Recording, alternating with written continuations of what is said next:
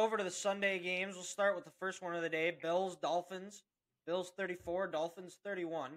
We'll start with the rushing yards. Bills ran for 170 yards. Dolphins ran for a, ran for 42 rush yards behind the uh, the king running running game guru in San Francisco, Mike McDaniel. I'm starting to think that's not true.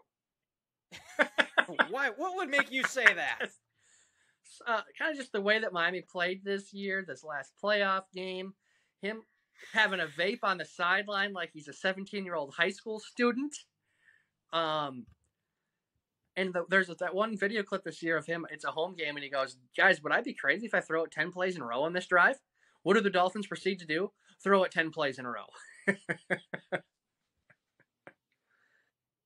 you know what? In, you know, I my, he's he's a quirky guy. You know, he seems to be like the guys on the team seem to like him.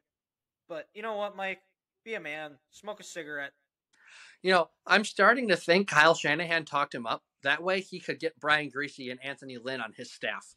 he almost he almost kicked him out of Santa Clara so he could actually improve his coaching staff. but what a sloppy game. You know, the sloppy turnovers by the Bills, the Dolphins, their receivers were trying to catch the ball with bricks. I don't I think Jaylen Waddle had about four four drops. It was really funny when Jim Nantz. Oh, he actually caught this one. So so catch this on Sunday. Me and uh, two other buddies we st- we went we started with uh, like a six leg parlay. I think it was you put in sixty bucks, and if all six happen, we get fifteen hundred dollars.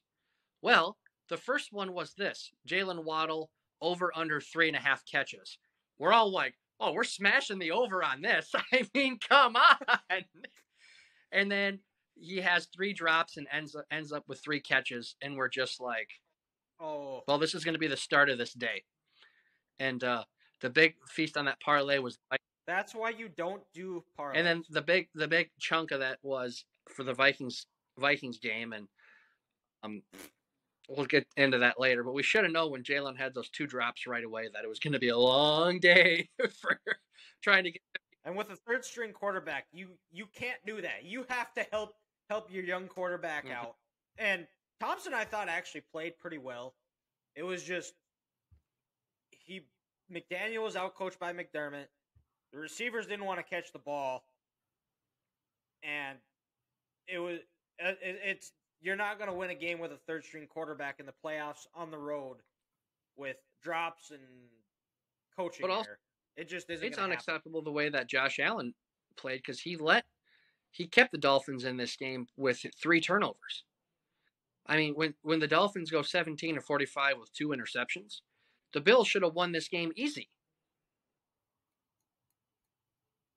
Yeah, well, and Dolphins got a defensive touchdown. Yep.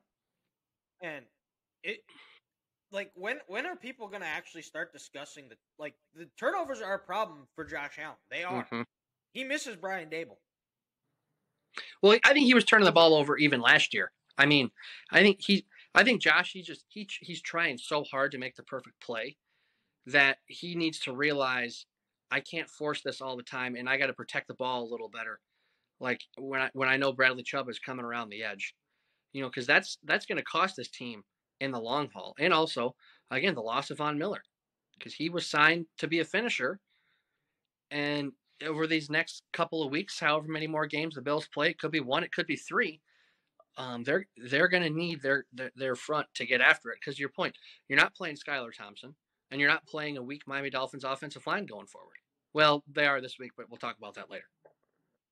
You don't think Von Miller Von Miller would definitely help out this week? Oh, he's got to be like just drooling, oh, yeah. chomping at the looking bit. looking at the way that Cincinnati's offensive line is limping into that game.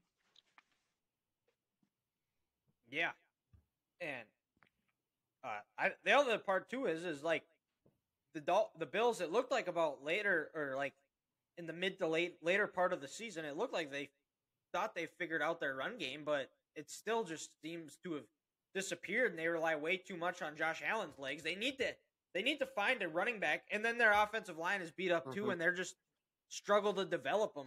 Well, and then you know, guys, after that Week Six win in Kansas City, Buffalo's season has either gone downhill or stayed pretty stagnant. They haven't been that same team. Well, they're like a lot of like almost every Viking, or not so it's maybe not just the Vikings, but every Minnesota sports team. They play to the level of their opponent almost every week, no matter if they're good or bad. They they're just they squeeze by. It seems like every week, maybe outside of like three or four games this year. That is true.